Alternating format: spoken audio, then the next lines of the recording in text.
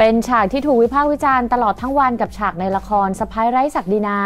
ของช่องฝั่งลาดพร้าวที่นำแสดงโดยไนกี้นิธิดล และจักจันอคัมซิริ โดยเป็นฉากที่ตัวละครพระเอก จับหน้าอกนางเอกอย่างตั้งใจ โดยที่นางเอกไม่ยินยอม แต่ในฉากพยายามสื่อให้เป็นฉากตลกทำเอาชาวเน็ตถึงกับวิจารณ์ถึงความไม่เหมาะสมอย่างหนัก เพราะมีคอมเมนต์โจมตีทีมงานเบื้องหลังมากมาย ว่าเป็นการสร้างฉากลวนลามคุกคามทางเพศออกมาสู่ประชาชน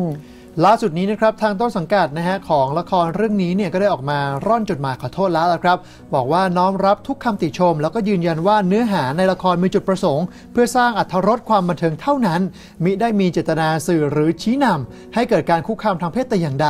และพร้อมที่จะปรับปรุงแก้ไข และตรวจสอบฉากในละครที่ยังไม่ได้ออกอากาศทั้งหมด เพื่อไม่ให้เกิดความผิดพลาดอีกครับ